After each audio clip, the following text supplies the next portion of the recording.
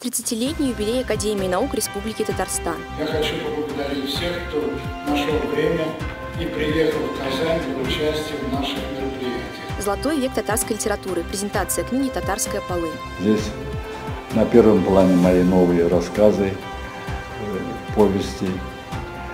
Вторая, вторая часть – это очерки о татарских поэтах Асибат Хакиме. Осы атакуют. Как избавиться от непрошенных гостей? Гнездятся они в подходящих, достаточно укромных, теплых, сухих местах.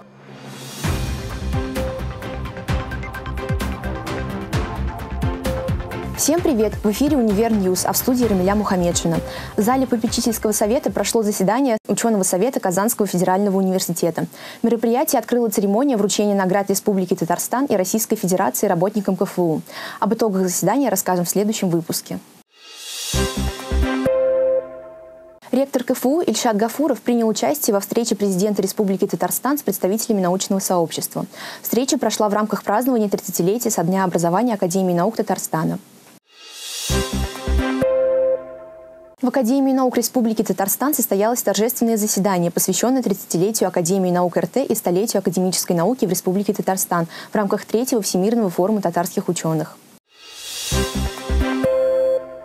Почетными гостями мероприятия стали государственный советник Республики Татарстан Минтимер Шамиев, руководитель аппарата президента РТ Азгат Сафаров, заместитель премьер-министра РТ Лейла Фазлеева, ректор Казанского федерального университета Ильшат Гафуров, представители научного сообщества Высшей школы, общественные деятели и другие. Открыл пленарное заседание президент Академии наук Республики Татарстан Мегзюм Салахов с закладом «Академическая наука Татарстана. История и современность». В течение вот последних трех дней шло масштабное обсуждение наиболее важных научных проблем с участием более 500 ученых. Я хочу поблагодарить всех, кто нашел время и приехал в Казань для участия в наших мероприятиях.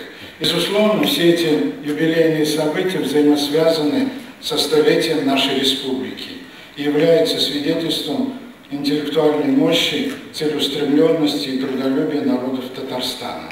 Также Мегдюм Салахов отметил, что на сегодняшний день Академия наук по праву является центром духовно-интеллектуальной культуры, одним из символов Республики Татарстан. Она участвует в решении многих насущных вопросов научно-технического и культурно-просветительского характера. Далее слово передали государственному советнику Республики Татарстан Ментимеру Шаймиеву. 30 лет назад мы создали в Республике Академию наук. Я должен сказать, что в то сложное время это было судьбоносное решение. Это стало возможным благодаря принятию нами декларации о государственном суверенитете нашей республики. В ответ на это ректор Казанского федерального университета Ильшат Гафуров в своей поздравительной речи подчеркнул, что для него, как для ректора КФУ и члена Академии, особенно отрадно, что налажено такое масштабное и продуктивное сотрудничество между учреждениями. Только среди сотрудников университета сегодня 8 академиков и 14 член-корреспондентов Академии. В том числе и многие руководители нашей академики являются сотрудниками Казанского университета. Сегодня, не всяких сомнений, наша Академия наук выполняет консолидирующую и координирующую роль во многих областях, поскольку в республика добрых несколько десятков вузов и не меньше научных центров разной ведомственной принадлежности. Отметим, что Академия наук РТ вносит значительный вклад в общественно-политическое развитие республики, формирование современной научно-образовательной политики, а также в дело сохранения и приумножения культурных и духовных традиций народа Татарстана. Елизавета Никитина, Фарид Захидоглы, Univer News. Решат Гузейров, проректор по общим вопросам КФУ, представил доклад в рамках заседания комиссии при Министерстве образования и науки РТ по противодействию коррупции. В ходе своего выступления он отметил, что нормативно-правовая база противодействия коррупции в КФУ создана и в целом является достаточной для результативной антикоррупционной деятельности. Что изменится на площади перед главным зданием Казанского федерального университета? Расскажем в следующем сюжете.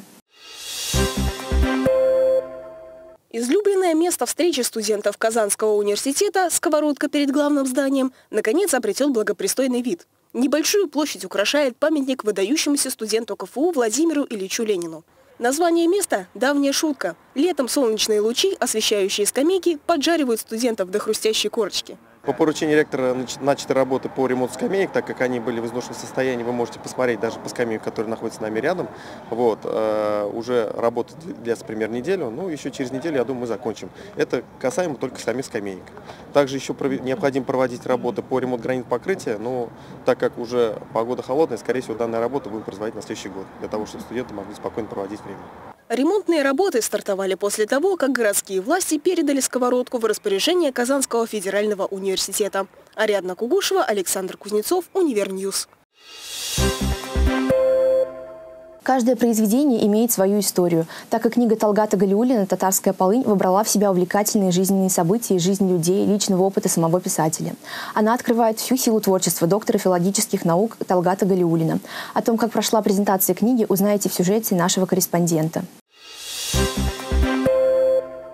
В Институте филологии и межкультурной коммуникации Казанского федерального университета прошла презентация книги «Татарская полынь» доктора филологических наук, научного консультанта кафедры татарской литературы Талгата Галиулина. С приветственным словом от имени Казанского университета и ректора Ильшата Гафурова выступил Тимирхан Алишев, проректор по образовательной деятельности. Конкретно вещь я хочу пожелать вам успехов, а, здоровья, самое главное, чтобы вы как можно больше были с нами, а, работали в Казанском университете, приходили сюда, и чтобы студенты имели возможность прикоснуться к вашему, э, к вашему литературному творчеству, э, к вашему опыту и мудрости. Это 39-я книга писателя. Она многожанровая и вбирает в себя все творчество Талгата Галиулина и его воспоминания. Здесь на первом плане мои новые рассказы, э, повести. Вторая, вторая часть – это очерки о татарских поэтах Асибат Хакиме, Ильдар Юзеев, Шавкат Галеева, которые ушли, ушли, ушли от нас, но оставили глубокий след в развитии татарской литературы. И третья основная часть – это современная татарская литература. На художественном вечере в честь выпуска новой книги писателя прочитали и отрывки из других произведений Талгата Галиулина. По словам Флеры Сайфулиной, заведующей кафедрой татарской литературы, книга раскрывает автора как писателя, ученого и критика. Конечно, в первую очередь мы э, Талгат Набича знаем как э, ученого. Он наш руководитель. Э, он на сегодняшний день также работает на кафедре татарской литературы как научный консультант. Поэтому мы, конечно, его воспринимаем в первую очередь как ученого-литературоведа, который который известен э, не только в татарском мире. Творчество писателя многогранно. Его произведения актуальны и по сей день. Книги автора читают разные поколения. Отметим, что новое издание билингвальное и вскоре будет доступно на русском и татарском языках. Джимини Баева, Фарид Захидоглы, Univer News. Насекомые атакуют дома и офисы. С каждым днем их численность лишь растет. Как переиграть осу, если она уже свела гнездо под твоим карнизом?